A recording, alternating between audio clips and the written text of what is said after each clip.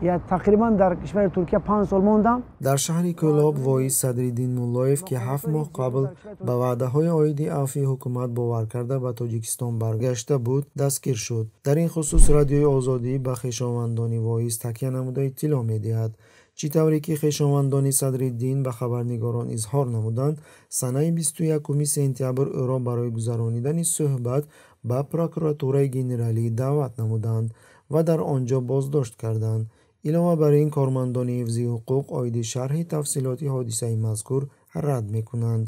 Ӯ ба суханҳо ва ваъдаҳои коркунони шӯъбаи оиди мубориза алайҳи ҷинояти муташаккилонаи вазорати корҳои дохилӣ эътимод кард. Баргашт ҳафт моҳ сипарӣ гашт ва ӯро дастгир намуданд. Намедонем чаро.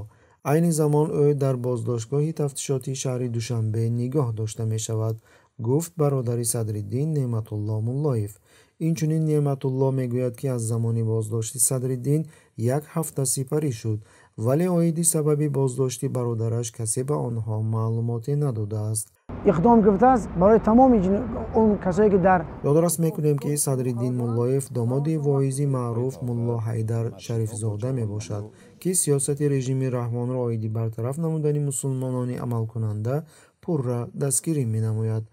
Чанд хуни чанд қадар миллати тоҷикро резондем дар соли 2008 садриддин муллоев аз тарафи мақомоти ҳифзи ҳуқуқи тоҷикистон бо айби иштирок намудан дар ҳаракати исломии ҷамоати таблиғ дастгир шуда буд ва бо ҳукми додгоҳ пушти панҷара рой карда шуда буд. Соли 2013 аз ҷойҳои маҳрумият аз озодӣ баромада бо сабаби таъқиб шудан аз тарафи хадамоти махсуси тоҷикистон кишварро тарк мекунад. Ӯ дар шаҳри кӯло бо номи мулло садриддин маъруф мебошад. Чорсола биромад баъд омад ия ман гуфтам ки беси бисёр гарам мекунам. Ба гуфтаи хешовандонаш ӯ соли 2013 ба русия сафар намудааст ва як сол пас ба туркия меравад ва дар он ҷо панҷ сол истиқомат мекунад. Дар соли 2019 аз тарафи ҳукумат кафолати авф ва қатъ шудани таъқибро гирифта ба ватан бармегардад.